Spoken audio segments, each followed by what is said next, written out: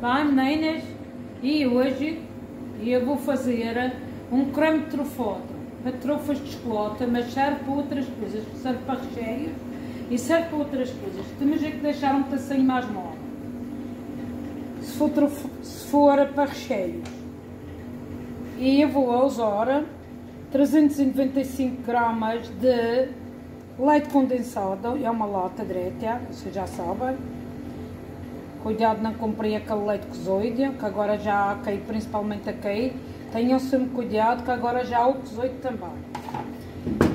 E aqui eu vou desfazê-lo com a 8 litros, 80 mililitros de leite.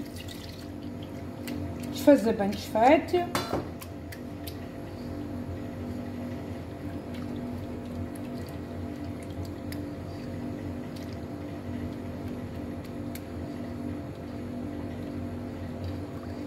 Seguir a receita, porque eu a seguir acabo-me perdendo, que a minha irmã pesou umas coisas, eu pesei outras.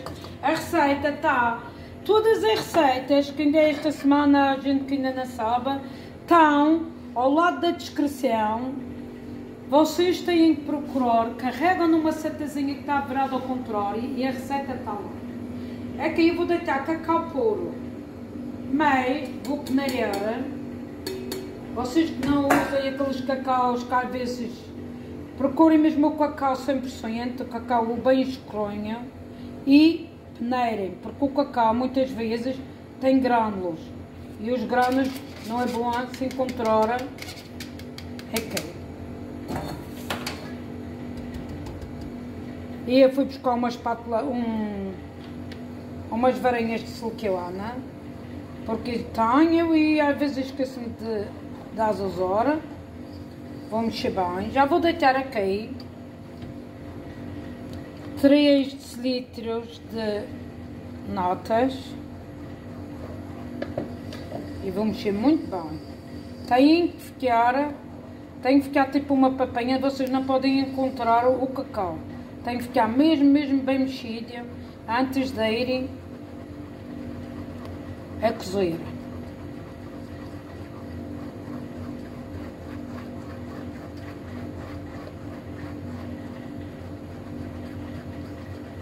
Mandar um beijinho para as minhas seguidoras todas.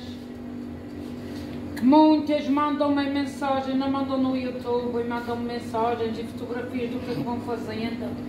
E eu fico toda contente. Hoje teve uma seguidora que me mandou uma mensagem a dizer que não estava a dar o ponto do gás para recajar.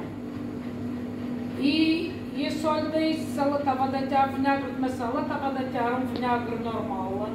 E muitas vezes quando não talha, leva-se outra vez ao loma e volta a talhar. E ela depois, hoje de noite, ela mandou a receita já pronta das cajadas e ficaram lindas.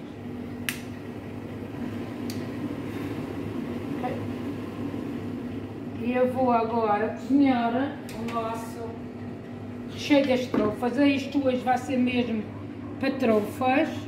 Estão a ver como é que ele ficou lá? Tudo lisinho. Deitem mesmo cacau, porque já levou a, o leite condensado. É doce. Este fica umas trofas que é uma delícia. Embora haja outras receitas com trufas, com a manteiga, e leite, e notas e, e chocolate e não leva e não leva o, o cacau dentro, só leva na parte de fora. E esta é uma trufa mais mais jetezonha. Este é para o dia do Valentine. Estas pequenas têm, pagam um pedacinho a mais no menu, mas tem que ter uma coisinha de tudo o que é bom também. Já está ficando com a nossa casinha quase a encher. Ainda não está cheia, claro, mas já está, cada vez vai aumentando mais. Já se vai começar no sábado a fazer o dia dos namorados, que já é um calha na segunda.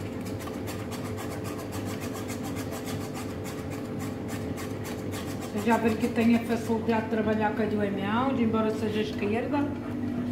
Mas como é que tive que aprender a, à força na escola a escrever direita e eu manipulo e assim não fico os braços cansados. Com menos 3 minutos temos que deixar ferver mais ou menos, ele tem que começar a engrossar e a se ver as bolhinhas tudo na hora, ainda não está. Quando se tudo a engrossar, é que se vai passar para deitar o chocolate. O chocolate que eu vou usar aqui é chocolate meio amargo. Não comprei aquele amargo amargo, não vale a pena também.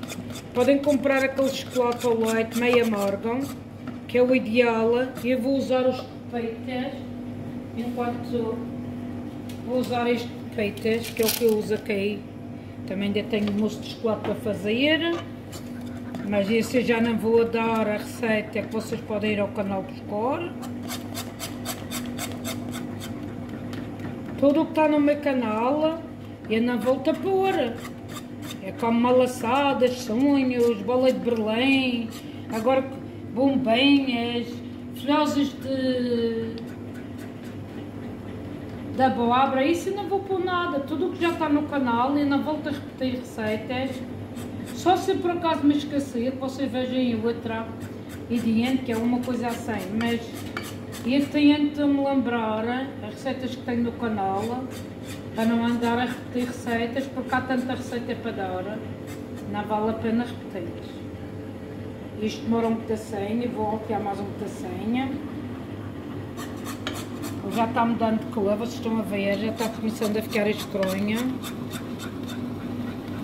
Usem aquela panela preferência como é esta que vocês estão a ver que eu estou usando, que acho que não agarra, que tem um fundo térmico. Estas é as melhores panelas para isto, nem queima nem agarram. Já está mudando a cor. Estão a ver que ele já está fazendo uma bolha.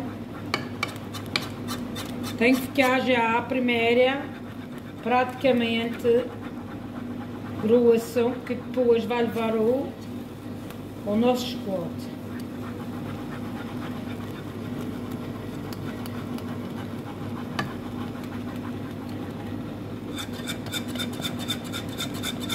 Eu podia desligar, mas eu quero que vocês vejam o processo mais ou menos como é que vai ficar quando for, olha, estão a ver, já está levantando bolha por todo o lado, depois está levantando bolha, vocês continuam mais um pedacinho, até ficar bem, bem cozido, este recheio tem que ficar muito, muito bem cozido, deixar só mais um pedacinho, mais um minuto, sempre para ferver,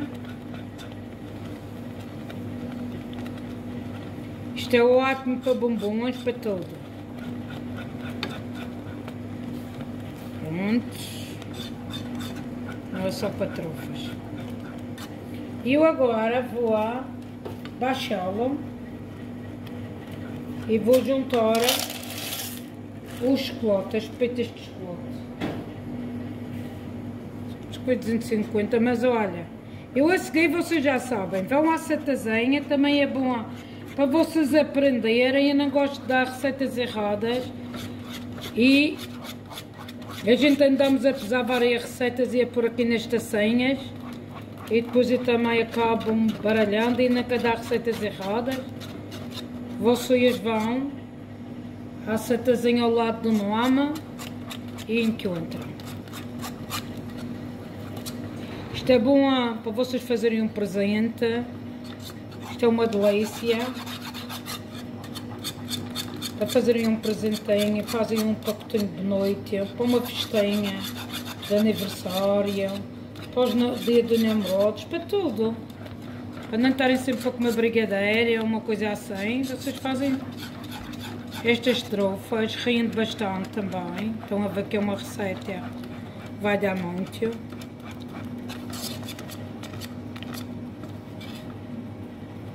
Já está começando a ferver.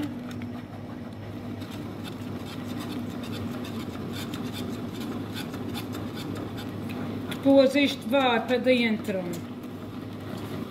de uma latinha, eu vou deitar numa lata de inox ou dentro de um prato como eu faço os outros brigadeiros com muita sempre manteiga.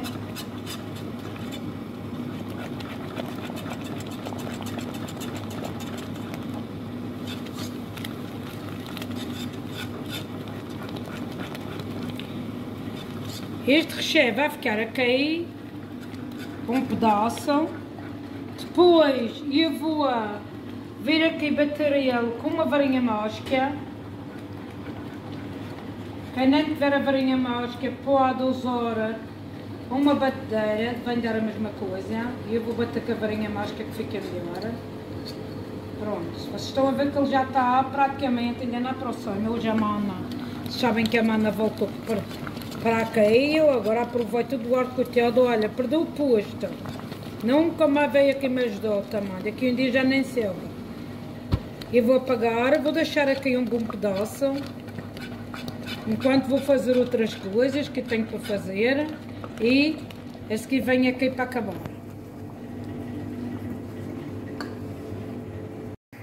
Nenas, já tenho uma latinha aqui untada com manteiga para deitar as trufas e já mexi, como vocês estão a ver, já está praticamente mornonho, já não fumega.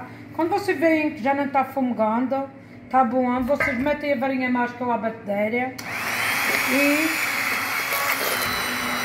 batem bem ela, de maneira que se tiver algum grânulo, ele desfaz tudo. Estão a ver?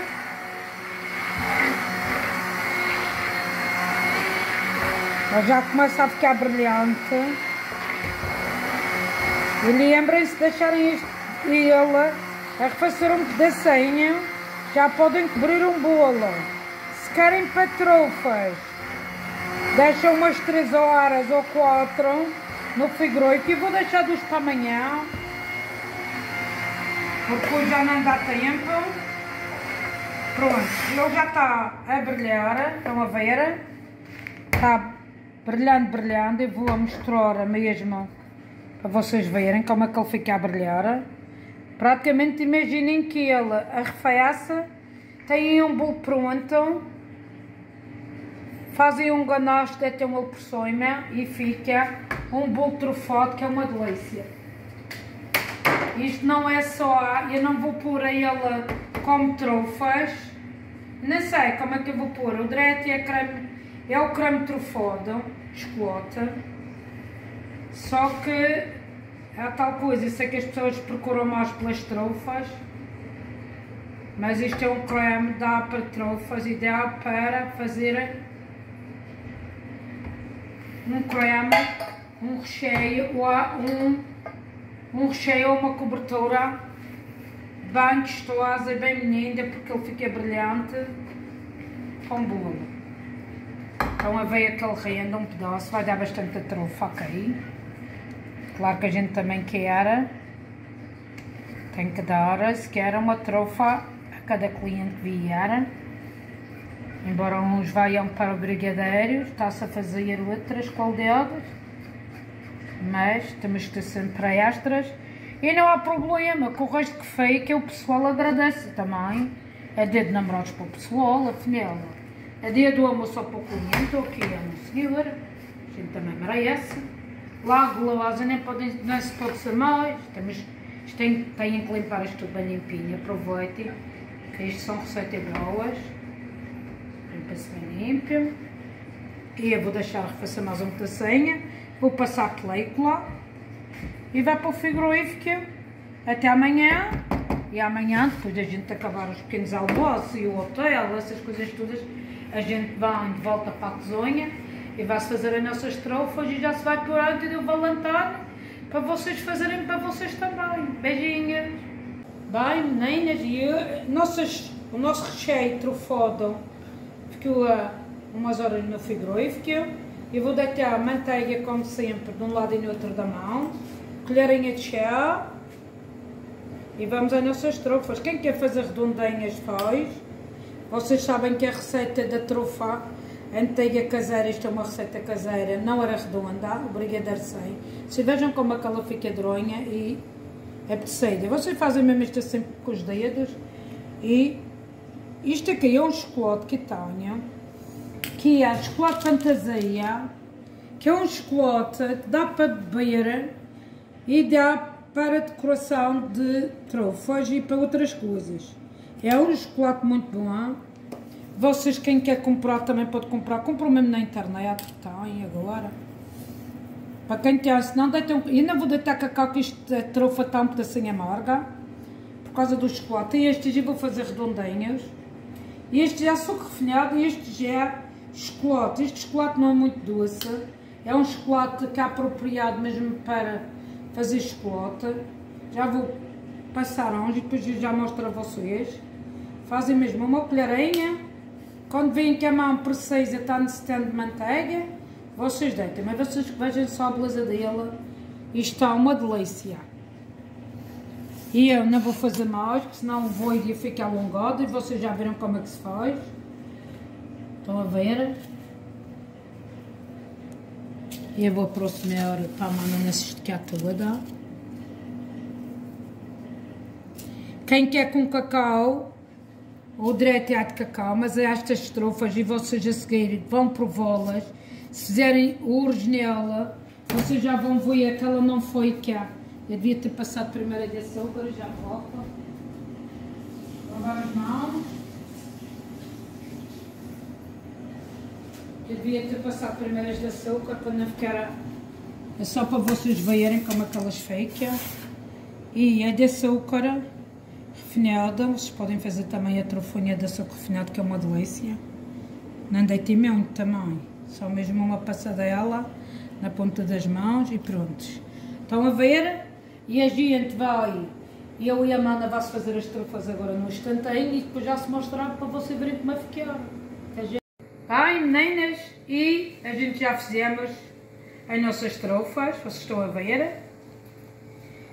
Passamos uma, mas ainda estão a gelar, mas essas é mesmo para o staff, por chocolate branco, que a gente soma uma glosonha. E pusemos um pedacinho de chocolate escorrescado por cima. Deu esta receita de 75 trufas. Portanto, vocês veem mais ou menos a receita e veem a como é que as pessoas vendem para quem quer vender, veem o resultado se vale a pena ou não.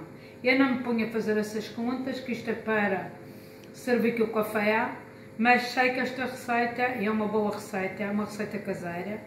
Vocês que façam e aproveitem porque são mesmo boas. Têm um gosto fantástico. Olha, ah, e outra coisa que me esqueci. Também, quem quiser usar conhaque nesta receita e gosta de um gostinho a, a bebida, podem pôr. Também quem quiser fazer a trufa de avelã, pode usar esta receita e colocar uma avelã dentro, que também fica uma delícia. Beijinhos!